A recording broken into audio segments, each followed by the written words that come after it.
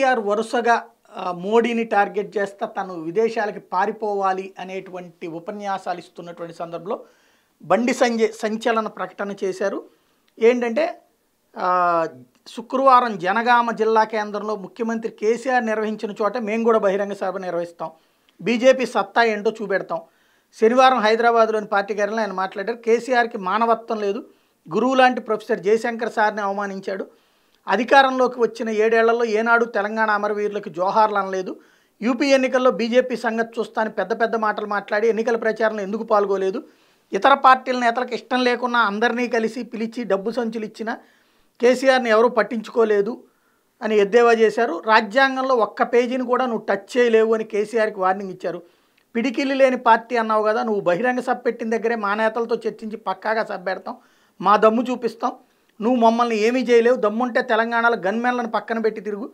తెలంగాణ ప్రజలే తరిమి కొడతారు. జనగామసలో సభ పెట్టి వారి కోసం ఏం చేసావో కూడా చెప్పలేదు. నీ డౌన్ఫాల్ అక్కడి నుంచే ప్రారంభం.